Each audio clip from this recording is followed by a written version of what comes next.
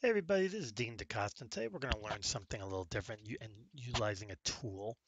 Now, as most of you know, when you're doing a uh, Boolean string on uh, on Google, it, it can be tough sometimes to find specific locations you're looking for.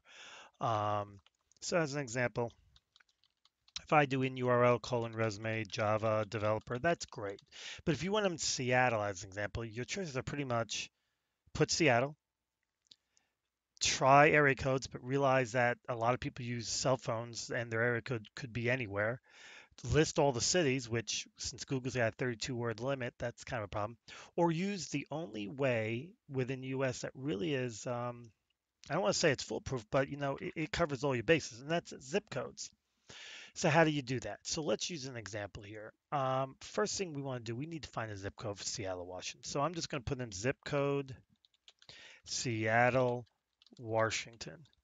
And we're going to see what the zip code is we get. Now you see you got a bunch of them, but what I really want to know is I really would love to get an idea what the zip code is that has the highest population or at least in the middle of the city or something. And that we're, we're going to find out. Okay, so this is Seattle. These are zip codes in the surrounding area. So let's pick the middle of the city, get in there. It says 98104. Great, that works. Then you go to a site. In this particular case, I'm going to uh, zip-codes.com. And the reason I'm doing it is because it does a lot of stuff and I really like it. So we're going to put within zero miles and 30. And we're going to put 98104. It's in the middle of Seattle. So what this is going to do is it should be getting me all the zip codes that are between 0 and 30 miles away from Seattle. And as you can see, boom, boom, boom, it does it. And it comes all the way down to here. And as you can see, it ticks everything. Uh, some of it's Tacoma, some of that. We did go 30 miles. So that's great. But the question is, what do you do with it? Well, first thing we want to do is get them in numerical order. High to low, low to high, really doesn't matter. And then we're going to just check, make sure it's done. So we go at the bottom, it's 98001. We go all the way up top, it's 98497. Great.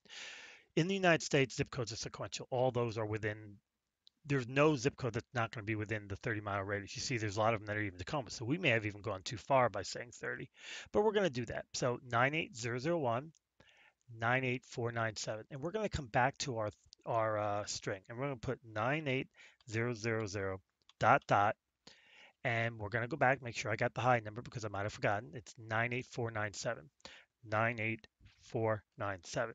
Now the dot dot is a Boolean operator for number range. So basically it's saying look for 98000 and 98497 and any other five digit number in between it. So 98001, 98002. Now, if I remember correctly, it was actually 98001 was the low. So we're going to do this. We're going to see what we get. So in URL colon resume Java developer. So we should get Java developer and hopefully people have a uh, zip code within that range. And as you can see, we did. We got 20 results. 98000. There's one it's 98119, 98108. So we got exactly what we asked for. And this did indeed narrow it down to a specific area that covered uh, what we wanted. And that's great. So what I'm going to do in an attempt to make this a little better, uh, the zip code range definitely worked using zip-codes.com, and that's the tool I want to specify. This is important because this actually can uh, get you the radius, which is hard to get sometimes. You can even could I could have even used this to find out what the uh, zip code for Seattle with the highest population is. That capability is here as well. I just chose to do it through a regular search so you could see it can be done either way. As you can see, zip code database, Canadian, the zip code plus four, zip code API, uh, get the US zip code database. I mean, you have so many things. You got radius finder, share this page, map view, table view, so many things. Let's get back to our string. Now, what would happen instead of in URL? Instead, we just went ahead and did resume. Uh, we're going to look the same thing, but we're going to do a file type command, file type, and we're going to look for PDF, oops, excuse me, PDFs. PDF. Let's see what that does. Uh, I misspelled file type, so it probably won't. I actually did pretty good considering I misspelled file type. Let's try it again and actually spell file type correctly. Uh, Google obviously uh, took care of that for me, file type. Let's try it again. And we got 12 more people again, all fitting within the 98001, 98497.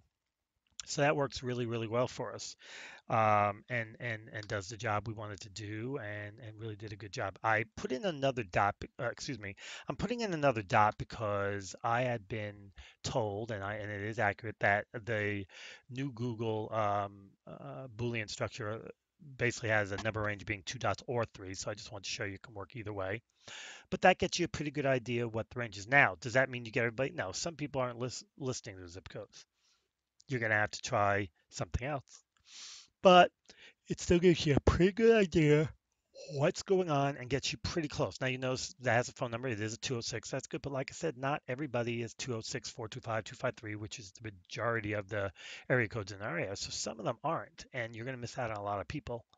Um, so there you go. That was it. And the big key was to teach you about the zip-codes.com because of all the things it can do for you besides just find you zip codes and then find you zip codes at a range and all that good distance calculations, all sorts of neat stuff.